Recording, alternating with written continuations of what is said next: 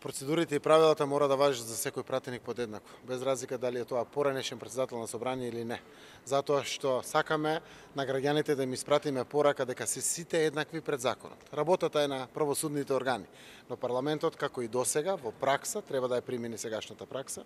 Изразуваме големо незадоволство и револт.